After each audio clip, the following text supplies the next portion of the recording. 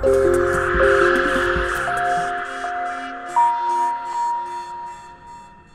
Развитие туризма – одна из приоритетных государственных программ Казахстана и особенно трепетных тем Нурсултана Назарбаева.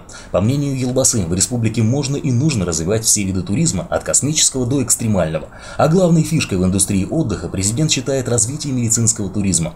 Со слов Нурсултана Назарбаева, Казахстан должен стать ведущим евразийским центром отдыха, комфорта и безопасности. А уже к 2020 году республиканское правительство планирует зарабатывать на туризме не менее 10 миллиардов долларов в год. Суммы, неподъемные сейчас даже даже для популярного среди туристов Египта. Поэтому браво, Нурсултан Абишевич, курс в светлое будущее взят, как всегда, правильный. Стратегия 2050 как путеводный маяк позволяет нам решать вопросы ежедневной жизни людей, не теряя из виду нашей основной цели – Слова, разумеется, замечательные. Что неудивительно, Назарбаев давно признан мастером складных рулат, но смущает, как всегда, одно. Все эти разговоры о прекрасных туристических перспективах – сплошные обещания скорого процветания. В речах Елбасы опять звучат безупречные, но уж очень далекие горизонты. Пока годы ожидания тянутся, казахстанцам дешевле и приятнее релаксировать в Турции или в том же Египте, нежели на курортах родной республики.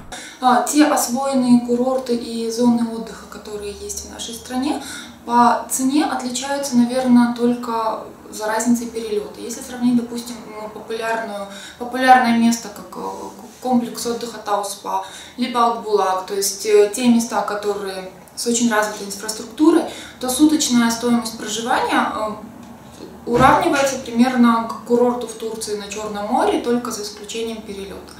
В принципе, поэтому как правило, наши люди любят больше ездить, потому что это все-таки море.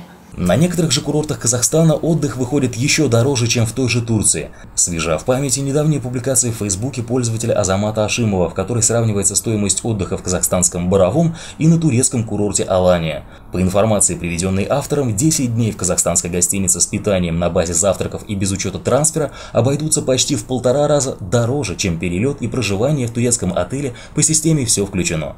Однако, невзирая на сегодняшнюю высокую стоимость казахстанских курортов, справедливости ради стоит отметить, что перспективы развития туризма в стране действительно блестящие.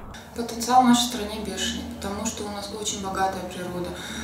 Есть э, куча мест, которые нужно освоить, вложить туда деньги, построить дороги, провести электричество, водопровод. Очень много интересных мест э, в горах Заилийского, Алатау, Высокогорные озера, э, тоже Кульцайское водохранилище. То есть такие вот, как это правильно назвать, редкие вещи, которых в мире, в принципе, больше нигде не встретишь. Тот же Черинский каньон, который можно только сравнить, наверное, с американским. Мало где в мире это есть. Но, опять же, из-за неосвоенности, из-за отсутствия инфраструктуры, это не пользуется популярностью у иностранных граждан.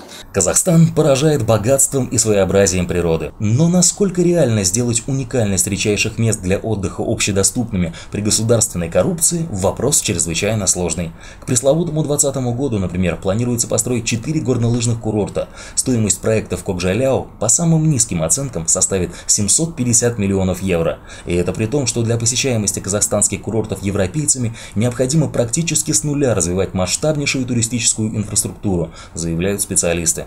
Самим казахстанцам, пожалуй, и мечтать не стоит об отдыхе в родной стране. Будет все только дороже. Дешевле все-таки в Турции.